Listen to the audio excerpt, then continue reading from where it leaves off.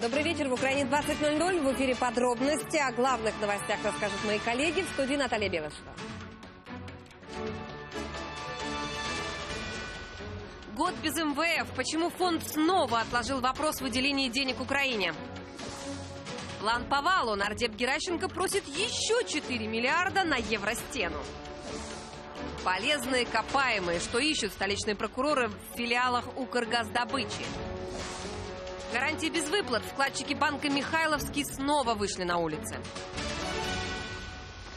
Зависший транш в повестке дня Совета директоров МВФ нет пункта об оценке украинских реформ. А, к слову, именно на это заседание Минфин возлагает все свои надежды. В календаре МВФ есть Барбадос, есть Иордания, Сербия и даже Экваториальная Гвинея. С этими странами фонд готов рассмотреть возможность сотрудничества. Напомню, МВФ не впервые откладывает украинские вопросы. Киев должен был получить третий транш, а это миллиард семьсот тысяч долларов еще осенью минувшего года, но каждый раз что-то мешало. То местные выборы, то политический кризис, то незавершенные реформы. Почему же отложили на этот раз? Давайте послушаем мнение политологов. Це рішення МВФ воно показує, що не все так добре. Міжнародні фінансові інституції сьогодні не вдоволені ні темпом реформ, е, ні тим, як використовувалися поп- попередні виділені транші, е, не- не вдоволені виконанням домовленостей з МВФ. Е, І тому вони не збираються поки що фінансувати Україну, яка в останній час пере- перетворилася для МВФ в чорну дірку для цих фінансів. Це насправді для нас є достатньо поганим сигналом. Відтермінування не грає е, для України в плюс, і інвестори сто разів подумають перед тим, як інвестувати в Україну, якщо вони бачать, що МВФ не надає нам ніяких кредитів, ніякої допомоги. непосредственно по транш МВФ підв'язані і кредит Европейского Союза Украине, это миллиард двести евро, внушительная сумма, и э, наступление кредитных гарантий или получение кредитной гарантии от США в размере 1 миллиард долларов. Поэтому там, э, в общем-то, сумма набегает достаточно большая. Ну а с недоинвестированием в Украину со стороны западных инвесторов, это вообще очень большая нагрузка на бюджет, на баланс бюджета. О возможном сокращении бюджета из-за задержки транша сегодня заговорили в Минфине. Глава ведомства Александр Данилюк допускает перераспределение бюджетных денег, если сотрудничество с МВФ будет приостановлено. И не исключает непопулярные решения. Какие конкретно министр не уточнил. На это заявление уже отреагировали оппозиционеры. Они требуют от власти отказаться от урезания бюджета. В заявлении оппозиционного блока говорится, пересмотр сметы – это дальнейшее снижение без того низких социальных стандартов. И поводом для этого никак не может быть отсутствие транша МВФ. В партии напоминают, что еще в январе предлагали свой вариант бюджета, в котором страна вполне могла обойтись без кредита. Поскольку денег от фонда Украина так и не получила, в оппозиционном блоке настаивают, что нужно отменить повышение коммунальных тарифов и налогов, чего требовал, собственно, фонд. Пока в Минфине в целях экономии хотят перекроить бюджет, в Укрэнерго не скупятся. Уже скоро в Черновцах появится рекордно дорогой трансформатор. Сколько стоит это оборудование и почему покупкой заинтересовались детективы НАБУ? Подробнее наши корреспонденты. Купить новый трансформатор в Черновцах просят несколько лет. Оборудование подстанции не справляется с нагрузкой сети. Из-за этого зимой в области веерные отключения. Нужен электрорезерв. Навантаження е, споживачів збільшується із року в рік. От і останнім часом вільних потужностей майже не існує. З 2012 року, м, наскільки мені відомо, що автотрансформатор не був закуплений, проводились торги, але закупка не відбувалась. И вот, наконец, просьбы энергетиков услышали, трансформатор приобрели. Вот только говорить что-либо о новом оборудовании, как его закупали и кто, не хотят. Ми люди державної організації даємо розписку про розголошення службової інформації. За трансформатор заплатили 47 миллионов гривен. Торги проводила компания «Укрэнерго». Вот только установить его никак не могут. Оказывается, нужен подрядчик. Стали искать, кто займется этими работами. И опять провели торги.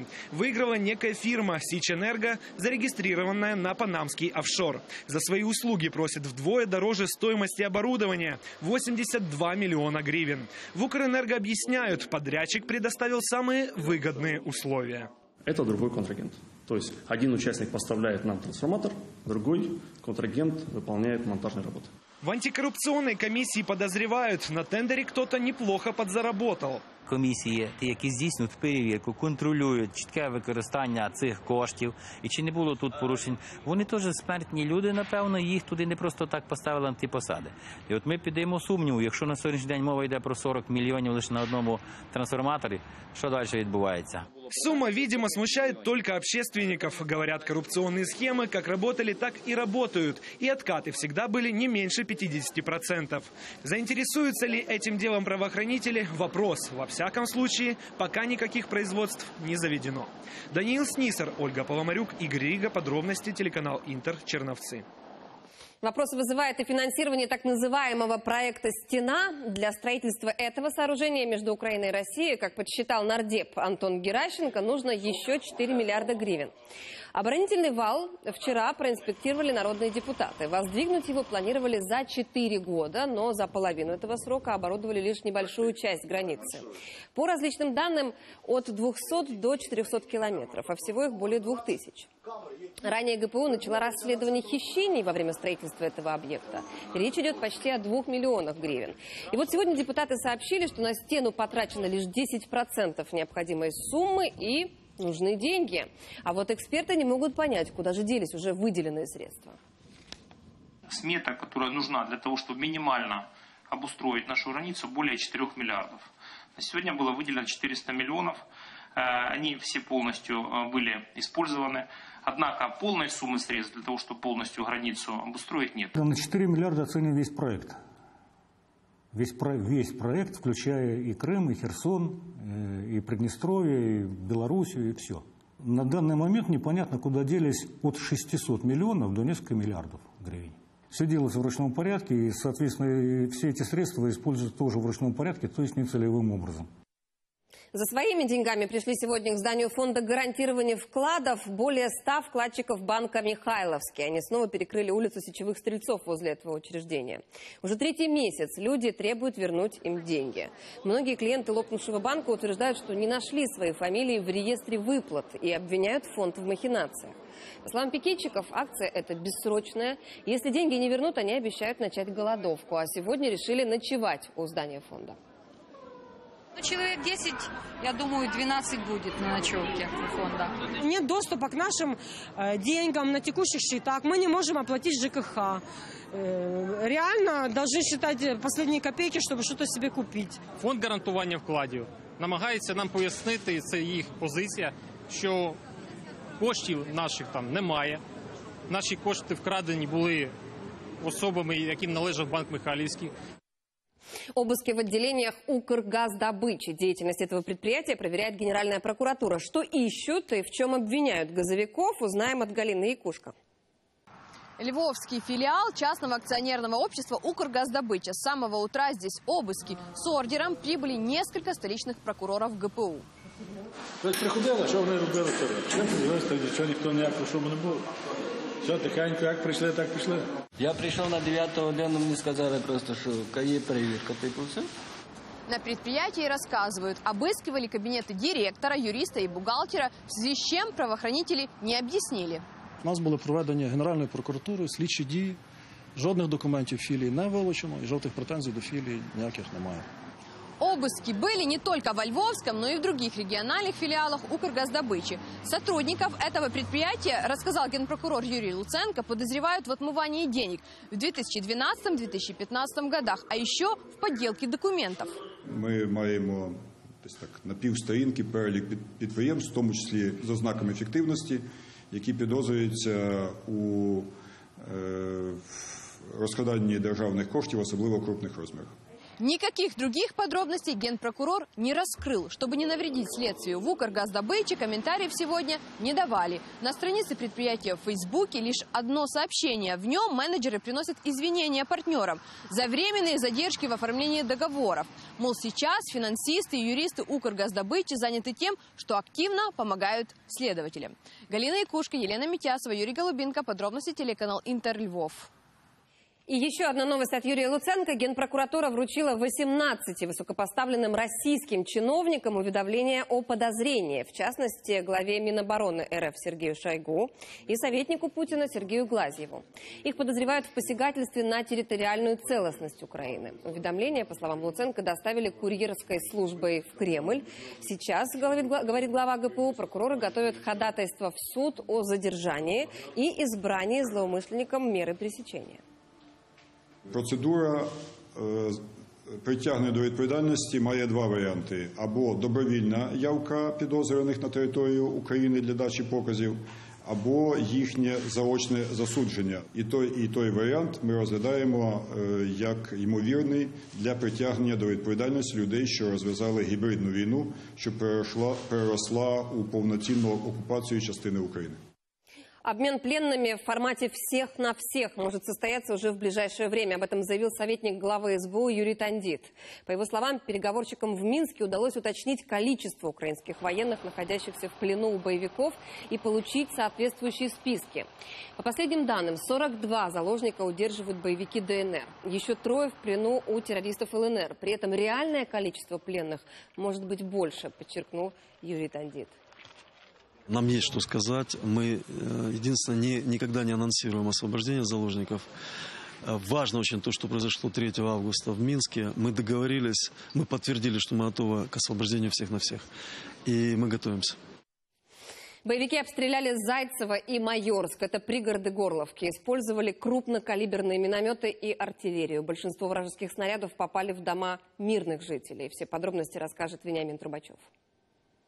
Вражеские снаряды сюда прилетают каждую ночь. Обычно боевики открывают огонь из стрелкового оружия, затем в ход идет артиллерия. Вечер начинается в 7 часов, ну, плюс-минус. І до, до темна. Постоянно йде стрілкатня у нас, РПГ, СПГ вони Пулеметы простреливают полностью вулицы верхние, и сюда залетают. Даже днем ходить по улицам Зайцева опасно. Многие дороги и улицы простреливаются наемниками. Здесь живут мирные люди, но это боевиков не останавливает. Плюют просто уничтожают жилые дома вместе со всем живым.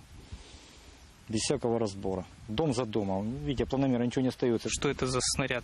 Ну, как минимум 152 миллиметра гаубиц. Здесь уже нет ни одного целого дома. Разрушены стены, крыши, выбиты окна, повсюду разбросаны смертоносные осколки. Это последствия очередного обстрела. Все в воронках. На этом месте был жилой дом. После прямого попадания остались одни руины. Когда прилетел вражеский снаряд, Вера Григорьевна была дома. Говорит, чудом уцелела. Обстрел боевиков длился несколько часов. Да мы с сестрой жили вот рядом. Была надежда, если попадет в один дом, останется хоть второй. Нет, попала и в один, и во второй. Сколько они положили сюда? Это у жилые дома, у них совесть есть в этих ДНРовцев. Совесть есть или нет? Соседям снаряды боевиков тоже разбили дом. Люди ночуют в подвалах, так безопаснее. Огород вместо урожая усеян хвостовиками от вражеских мин и ручных противотанковых гранатометов. Что это? РПГ чи, чи не знаю, что оно такое. Уже разбираетесь, РПГ, да. Разбираетесь, конечно, разбираешься. И 80-ки, и 152-е, всякие, все разбираемся. Вот смотрите, какие трубы побитые, все, вот яблоня какая, все по побитые стволы. Защищают от боевиков Зайцева бойцы 43-го батальона из Днепра. Сегодня они отмечают вторую годовщину создания подразделения. Все это время бойцы воюют на самых горячих участках фронта. Вот у нас подразделение, все бойцы четко понимают свою задачу, действуют слаженно, по команде никто не, лишний раз не стрельнет. Это большое значение имеет для вооруженных сил. Это, скажем так, там, где раньше рота справлялась неорганизованно, сейчас справляется взвод. Прямо на передовой бойцам вручают медали и ордена. Правда, праздновать некогда. После награждения все снова отправляются на боевые позиции. Вениамин Трубачев, Владлен Ноль и Руслан Терентьев. Подробности телеканал Интер, Донецкая область. Украине нужна поддержка с поставками оружия. Донести это до западных партнеров призвал президент Петр Порошенко украинскую диаспору во время встречи в Киеве. І настав час активніше впливати на громадську думку на Заході. Так само просив би пояснювати, чому Україні потрібна підтримка з поставками зброї. Причому потрібна ще вчора, бо завтра буде вже пізно. Все глобальне українство мало докласти зусиль для захисту прав українців в Росії. Там українські громадян і українські громадські організації перебувають під значним тиском з боку силових структур. И сегодня же президент в честь 25-летия независимости Украины наградил выдающихся украинцев. Среди них военные, педагоги, медики, артисты, представители самых различных профессий из всех регионов. Награду получила и бывший министр финансов Наталья Ересько. Уже в ближайшее время Украина подаст иск в Международный трибунал ООН по морскому праву против России. Причина – нарушения Москвой соответствующей конвенции ООН. Об этом заявил министр иностранных дел Павел Климкин, открывая 12-е совещание дипломатов. Кроме этого, на очереди еще два иска в международные суды.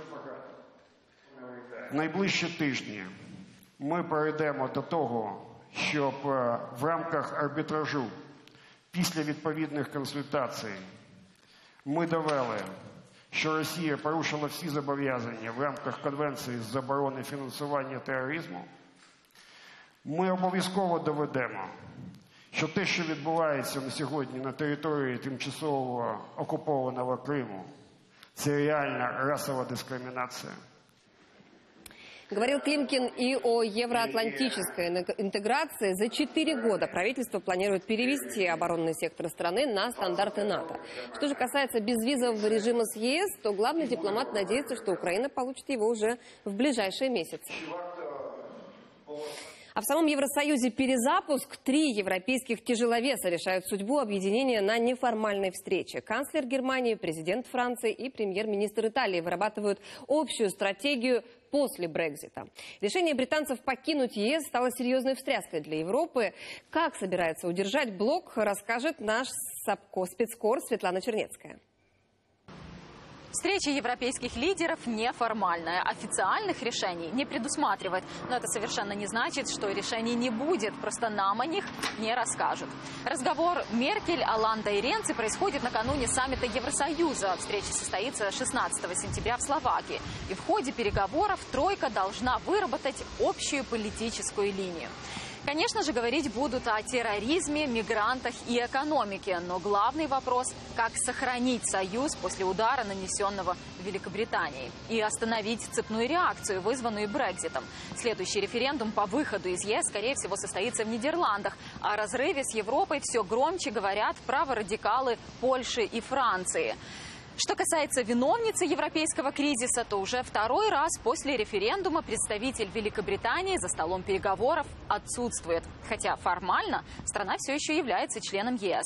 Вот только проголосовав, лишила себя права участвовать в принятии серьезных решений. Два месяца спустя после референдума Лондон не спешит запускать процесс развода. Здесь нет специалистов, которые могли бы организовать безболезненный выход из ЕС. В то же время Европа нервничает Мол, промедление только тормозит развитие Евросоюза.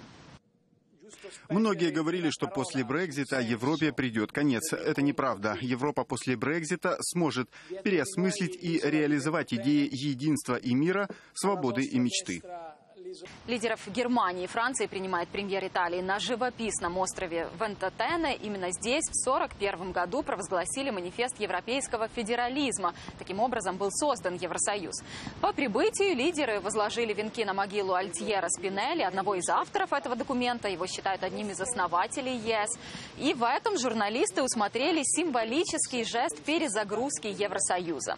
Дальше Меркель, Алан и переместились на авианосец Джузеппе Гарибальди. И это не случайный выбор. Гарибальди – флагман европейской миссии в Средиземном море. Вместе с кораблями других стран выслеживает контрабандистов, переправляющих нелегальных мигрантов. Выбор именно этого судна в качестве места переговоров подчеркивает внимание ЕС к проблеме миграции.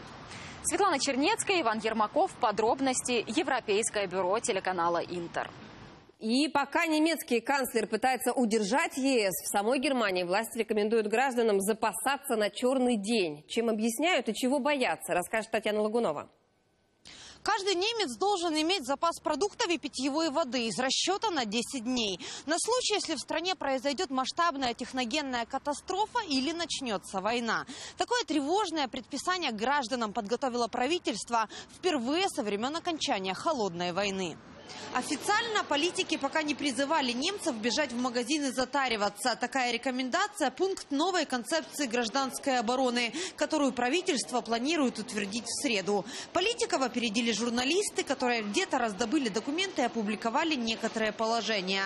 И нужно сказать, немного напугали немцев. Делать запасы на черный день правительство не призывало уже более 25 лет. А тут просит быть готовыми обеспечить себя самым необходимым на случай ЧП. Многие сразу предположили, власти что-то знают и не говорят, чтобы не сеять панику. Самые терпеливые дочитали документ до конца и немного успокоились. В нем говорится, нападение на территорию Германии маловероятно, но исключать его полностью нельзя, а значит лучше подготовиться. Новую концепцию гражданской обороны правительство одобрит в среду. Крупные торговые сети уже потирают руки. Учитывая сознательность немцев, можно предположить, рекомендацию властей они выполнят. Татьяна Лагунова, Павел Лысенко. Подробности немецкое бюро телеканала «Интер». В Украину едет новый посол США, и Мария Иванович уже представилась украинцам, пока только в видеообращении. Ролик опубликовали на странице посольства в Твиттере. Она рассказала, что переезжает в Киев со своей 88-летней мамой и любимой собакой. С нетерпением ждет возможности увидеться со старыми друзьями и отведать украинских вареников. Новый посол также выразил надежду, что будет полезно Украине. Ми здалеку спостерігали за великими досягненнями України протягом останніх двох років. Але зробити треба ще багато. І я сподіваюся працювати разом з вами, щоб підтримувати суверенну, територіальну цілісну, демократичну і заможну Україну. Слава Україні! А на родине Иванович разгар президентской кампании, от которой все уже порядком подустали. Каждый третий американец не хочет ни Трампа, ни Клинтон в качестве президента страны. Чем именно так насолили избирателям и демократы, и республиканцы? Об этом мой коллега Дмитрий Анопченко. Он в Вашингтоне. Свежие опросы общественного мнения как холодный душ для кандидатов. По данным ABC, почти 60% американцев не хотят выбирать между Клинтон и Трампом. И 35% опрошенных были бы рады, если бы ни одного и ни другого не было в бюллетенях для голосования. Эти цифры социологов должны и демократам, и республиканцам сказать, с вашей компанией что-то не так. Вот только скажут ли? Дональд Трамп уже просто не может не эпатировать, не делать громких заявлений, которые в тот же миг вся Америка начинает обсуждать. С каждым новым витком кампании он теперь просто вынужден разоблачать все громче и обвинять все активнее. Именно этого и жаждет аудитория. И остановись он, просто растеряет голоса. А миссис Клинтон, может, и хотела бы показать характер. Резко ответить Трампу, выглядеть жестче. Но штаб с самого начала гонки решил, раз Трамп громогласен, Хиллари должна быть позитивной. И сделал своего кандидата заложником этого позитива, когда сопернику даже нельзя равноценно ответить. И от одного и от другого образа люди просто устали, как устают от мыльных опер, от телесериалов с предсказуемым сюжетом. Давно не было такой кампании, чтобы избиратели все больше жалели, мол, почему в бюллетенях не будет пункта против всех. Либо жалели о том, что выбыли другие претенденты, тот же Берни Сандерс. Ну а те, кто прошли в финал, сейчас дают все больше поводов для критики. Дональд Трамп за всю жизнь четыре раза уже объявлял о банкротстве своих компаний. Теперь вся страна обсуждает, мол, неужели снова? Ожидается, что республиканец сегодня прокомментирует статью «Нью-Йорк Таймс» о том, что его долги достигли 650 миллионов долларов. А пока Трамп молчит, дает повод для разговоров. Как он финансами страны управлять будет, если свои в очередной раз чуть не растерял? Вокруг кандидата от демократов другой скандал. Пресса выведала, благотворительный фонд Клинтонов получал миллионы долларов пожертвований, в том числе сомнительного происхождения, что дало повод обвинить теперь уже Хиллари. А президент Клинтон как будет возглавлять страну, когда супруг зависит от миллионных вливаний спонсоров? В итоге оба кандидата теряют популярность, и это делает кампанию еще более непредсказуемой. Из Вашингтона Дмитрий Анопченко, Сергей Коваль, Американское бюро телеканала «Интер». Вы смотрите подробности, и вот что у нас во второй части. Уголовный батальон. Журналисты выясняли подробности ограбления, в котором подозревают двоих бывших торнадовцев. Звездный маневр. Леонардо Ди Каприо попал в автокатастрофу. Подробности происшествия. Суд разрешил прокуратуре заочное расследование дела экс-министра обороны Михаила Ежеля. Как сообщают в ГПУ, Ежеля подозревают в злоупотреблении властью нанесении государству материального ущерба на сумму около 43 миллионов гривен. Подозреваемый объявлен в розыск. Также получено разрешение на задержание и доставку Ежеля в суд. Батальон «Торнадо» снова в центре скандала. Пока в Киеве рассматривают дело бойцов расформированного подразделения, в Днепре задержали двоих торнадовцев за попытку ограбления. Я напомню, командира этого батальона Руслана Онищенко и еще 11 его подчиненных обвиняют в тяжких преступлениях, среди которых похищение людей, пытки, изнасилование, разбои и грабежи. Суды длятся уже почти год. Заседания постоянно переносятся. То одному из подсудимых становится плохо, то другие отказываются ехать в суд, то во время слушаний устраивают скандалы. Теперь торнадовцы, похоже, отличились и в Днепре. Все подробности этой истории собирала Наталья Грищенко. Спальный район Днепра. Обычная десятиэтажка. Вчера под утро возле подъезда двое мужчин напали на местного жителя. Работали профессионально. Никто из соседей не слышал ни криков о помощи, ни драки. Ничего не слышал. Нападавшие избили мужчину, украли барсетку с документами, бумажником и мобильным телефоном. Практически сразу подозреваемых задержали патрульные, буквально в паре километров от места происшествия. Ну, на скамейке там сидели, там полиция, в общем-то. Ну, мужчина, в общем, перевязанный, в общем-то. Открыто уголовное производство по статье «Грабеж». Сейчас задержанным избирают меру пресечения. Оказалось, оба жители Днепра, оба ранее судимы за кражи. Затримано двоє непрацюючих місцевих жителів. Один 1982 року народження, інший 1987 року народження. Обычная кража быстро переросла в резонансное дело после того, как в интернете появилась информация, что нападавшие – бывшие бойцы батальона спецназначения «Торнадо». Сам пострадавший что-либо комментировать на отрез отказался. Не, я не могу это все на телекамеру давать. Опасать за свою жизнь не хочу. В прокуратуре говорят, один из задержанных сразу признался, что он бывший торнадовец. Одним з учасників надана незавірена копія ксерокопія документу, яке підтверджує його участь раніше у е, підрозділі Торнадо. Е, Інший взагалі е, таку інформацію не надавав. Сейчас правоохранители проверяют биографию обоих задержанных, выясняют также их причастность к другим кражам, совершенным в Днепре. За вчерашнее нападение им уже грозит по 6 лет лишения свободы. Наталья Грищенко, Евгений Кодинцов. Подробности телеканал Интер Днепр. Махинации на аукционах. Более 70 миллионов гривен в течение этого года недополучила компания «Укрнафта» при продаже сжиженного газа. На чем основаны подсчеты экспертов рынка и кто сэкономил на покупке ресурса, разбирались наши корреспонденты.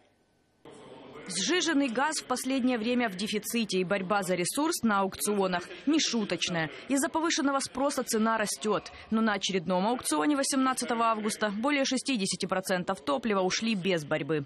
Поднимала фишку одна всего лишь компания. Но по нашим данным, это нефтехимик Прикарпатье, одна из э, компаний, входящая в структуру приват. Если бы кто-то поднял фишку, цена бы выросла. Но не поднимают таблички. По какой причине? Ну, значит, рынок это устраивает. За остальной ресурс боролись порядка 10 фирм. В консалтинговой компании А95 говорят, подобная ситуация на аукционах повторяется из года в год. Мол, существует негласная договоренность между группой «Приват» и остальными участниками рынка. Они сразу обозначают в начале аукциона, сколько они забирают, какого газа и почем. Остальное отдают, порядка 25% от выставляемых объемов, они отдают в рынок, который сразу же за счет большей конкуренции э, сразу же дает э, объективную рыночную цену. По данным эксперта, почти за год с момента назначения главой правления Укрнафты Марка Роллинза из-за договорного характера торгов компания на газовых аукционах недополучила 73 миллиона гривен.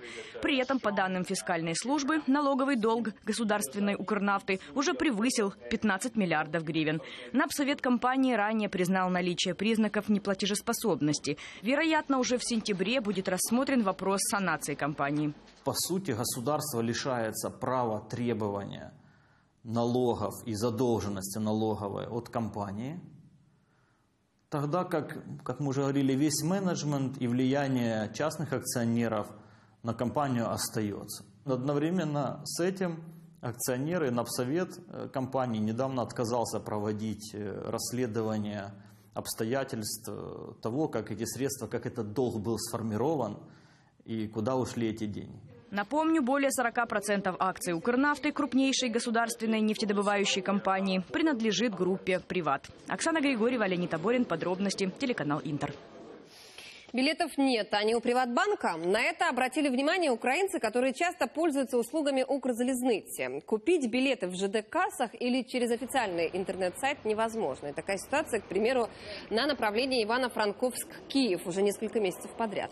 А вот на сайте Приватбанка билеты всегда есть. Возмущенные пассажиры говорят, что банк, возможно, просто скупил их и продает по завышенным ценам.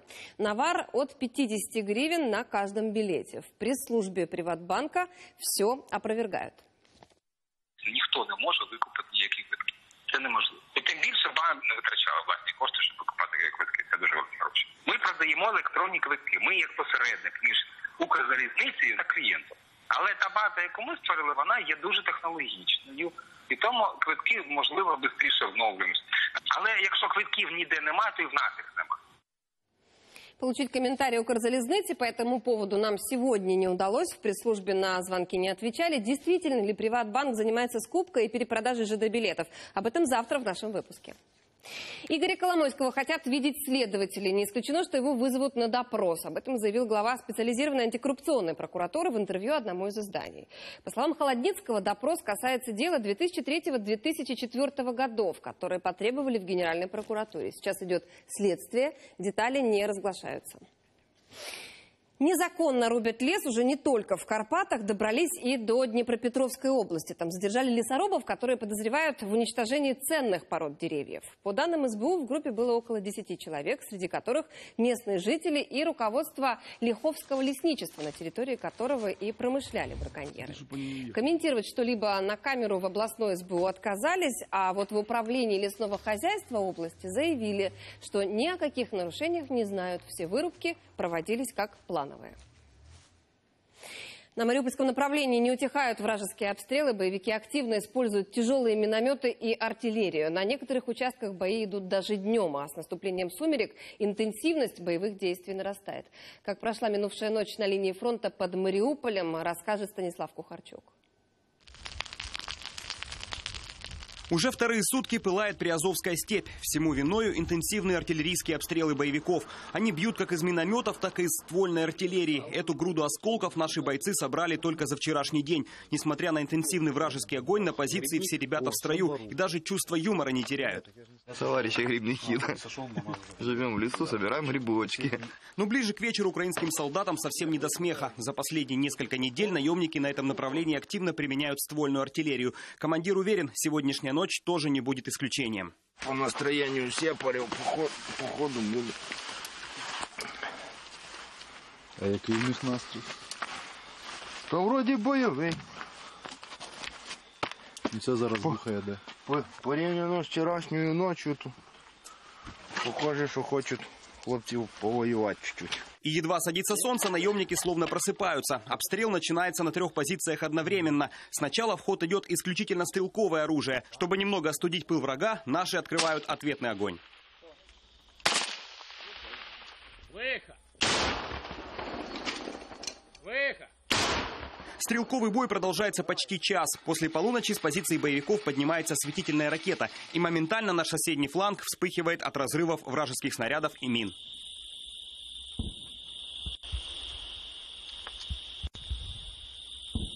На этот раз открывать огонь наши не решаются. Есть угроза задеть мирных жителей. Боевики стреляют из оккупированного Коминтерного. Хай в посадку напротив нас вставала. А так ж там за людьми ховатися, за мирними. Та ж бабка, дедушка не виноват, що вони там сидять. По селу не стрельнеш, а вони этим пользуются. Стрельба стихает лишь на рассвете. На наших позициях, к счастью, обошлось без погибших и раненых. Утром на пару часов ребятам можно немного расслабиться. Боевики отдыхают. Но это затишье явно ненадолго. Егор Логинов, Станислав Кухарчук, Владимир Дедов, Игорь Щепет. Подробности телеканал Интер. Как идет восстановление инфраструктуры Луганской области? Сегодня нардепы оппозиционного блока побывали в регионе. В Рубежном народные избранники проверили, как ремонтируют крыши в многоквартирных домах. На эти цели Рубежанским горсоветом было выделено около 300 тысяч гривен. В планах местной власти продолжить обновление кровли по всему городу. Также ведется ремонт системы водоотвода в одной из школ. Города. В Рубежном лидер фракции «Оппозиционный блок» Юрий Бойко говорил не только о развитии региона, но и о том, какими он видит приоритеты власти и оппозиции. Вся эта э, словесная шелуха, которая в последнее время мы часто слышим э, с э, телевизоров, со стороны правителей, политиков правящего толка, она не имеет ничего общего с тем, что реально нужно людям. Поэтому наша задача – помочь конкретному человеку, простому жителю Украины, гражданину, для того, чтобы он себя чувствовал комфортно. Здесь мы это делаем. И так должно быть везде, по всей стране. Это задача правительства, задача государства тоже. Мы не можем оппозиция закрывать все. Мы выделили для себя три приоритета. Мы будем требовать установления мира в стране. Это главное, что хотят люди. Мы будем требовать рабочих мест, э, поддержки реального сектора производства. И мы будем требовать снижения тарифов, поскольку вся страна уже встала на дыбы из этих тарифов. Нардепы также посетили Лисичанский стеклозавод «Пролетарий», в частности, его вторую площадку, где планируется открытие нового цеха по производству стекла.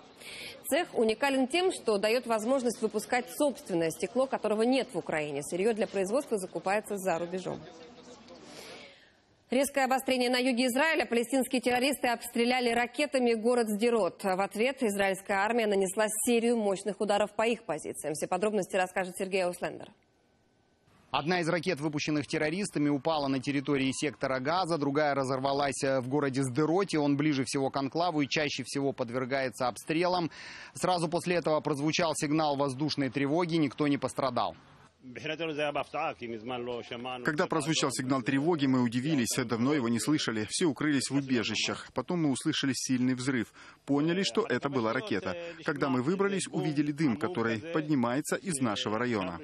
Ситуация, в принципе, стандартная, но вот нестандартная оказалась э, реакция Израиля. Ее уже назвали неожиданно жесткой. Сразу после обстрела танки, расположенные вдоль границы с э, Газой, открыли огонь прямой наводкой по целям на территории Анклава. Чуть позже в воздух поднялись боевые самолеты. Они разбомбили несколько объектов Хамас. Бомбардировка продолжалась всю ночь. Жители окрестных населенных пунктов слышали сильные взрывы. В Министерстве обороны Израиля уже заявили, что больше не намерены мириться с обстрелами мирных населенных пунктов все эти э, обмены э, в кавычках любезностями в конечном результате приводят к вооруженному конфликту, и мы хотим это избежать.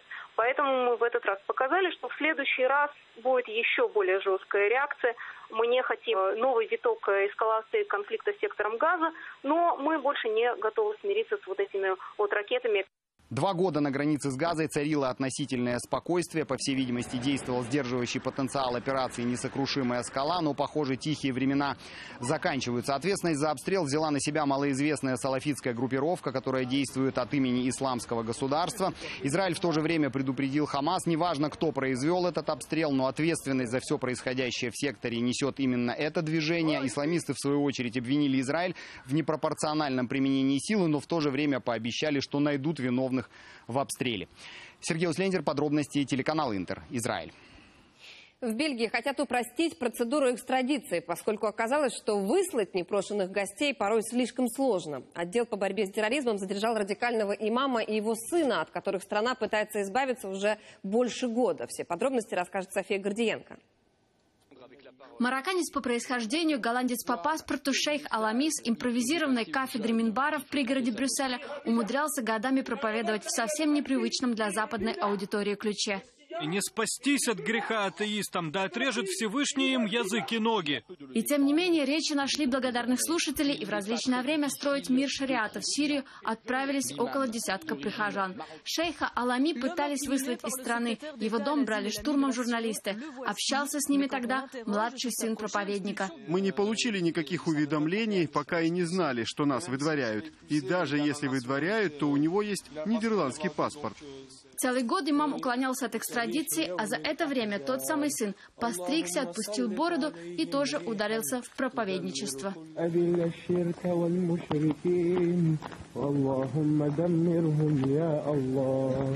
Общество возмутилось. Бельгийские спецслужбы дождались, пока оба нарушителя спокойствия вернутся из отпуска в Брюссель. Вчера в пять часов вечера задержали всю семью. И мама, жену и сына допрашивали долго, но среди ночи подростка отпустили. Как прознали журналисты, прокурор не мог получить ордер на арест, так как побоялся разбудить судью. У парня только конфисковали смартфон для изучения контактов с джихадистами. Сегодня отпустили домой и родителей. Оказалось, выслать семейство из страны практически невозможно. Имам еще год назад подал жалобу в службу миграции, в которой выразил несогласие со своей экстрадицией. И пока ее рассматривают, а бельгийские бюрократы в этом плане люди неторопливые, семья может не спешить паковать чемоданы. София Гордиенко, подробности, телеканал Интер, Брюссель. Трое человек ранены на автобусной остановке в пригороде Брюсселя. На них набросилась женщина с мачете. Люди как раз выходили из автобуса. Двое человек получили серьезные травмы, их госпитализировали. Еще одного легкие повреждения. Полиции пришлось стрелять в нападавшую. Женщину ранили, но жизни ее сейчас ничего не угрожает. Скандальное решение мигрантского кризиса в Европе от венгерского евродепутата и о том, как ученик отсудил своей школы 6 миллионов долларов. Об этом и не только в нашем обзоре.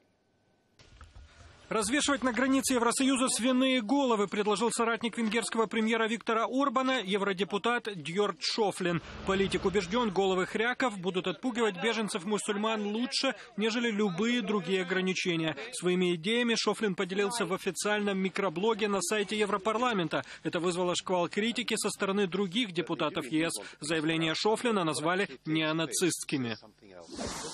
Оскароносный Леонардо Ди Каприо попал в автокатастрофу вместе со своей подругой, датской моделью Ниной Агдал. В штате Нью-Йорк в рейндж-ровер актера врезался мини-купер. Сразу после столкновения Ди Каприо убедился, что его спутница Агдал не пострадала. Выбрался из машины сам и помог выйти из мини-купера женщине-водителю. Сам вызвал скорую. Кто виновник ДТП, сейчас разбирается полиция. Все свидетели подтвердили, Лео был очень любезен на месте происшествия.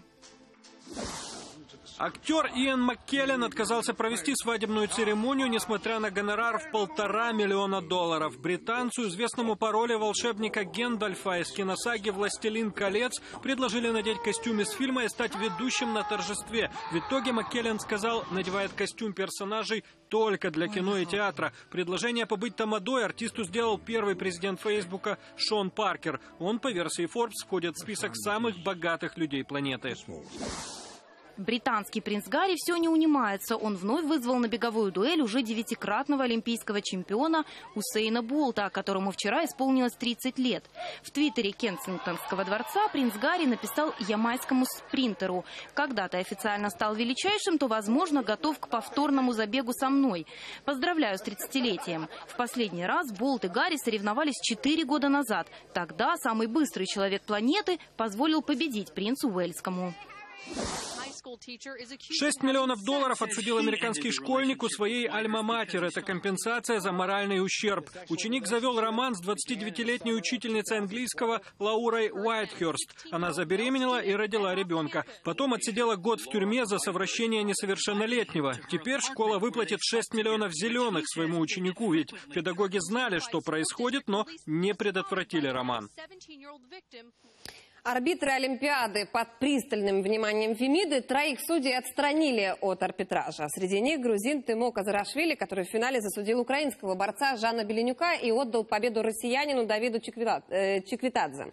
При этом, по мнению украинской стороны, Казарашвили судил в пользу российского борца. В отношении арбитров начато расследование. А по итогам Олимпиады на счету у Украины 11 медалей. Золото принесли гимнаст Олег Верняев и канаист Юрий Чебан.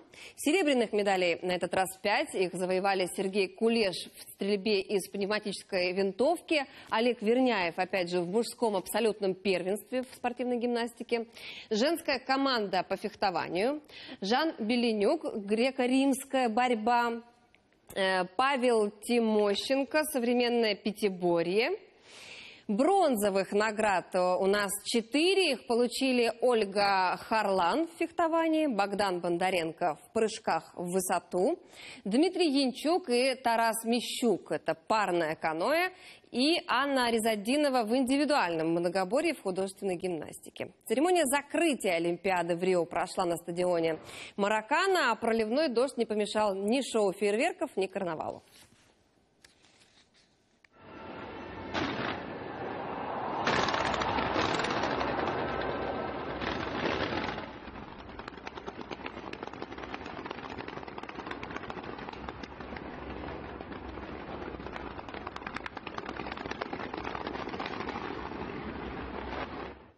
В мире уже начали поздравлять Украину с Днем независимости. Едва ли не первое это сделала президент Литвы.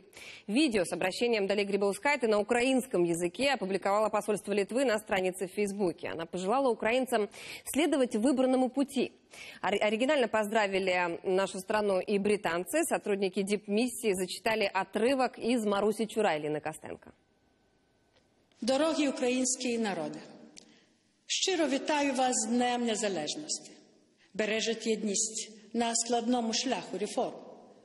Творіть свою країну самі і своїм прикладом надивайте інших. Усе як є, дороги, явори, усе моє, все зветься Україна.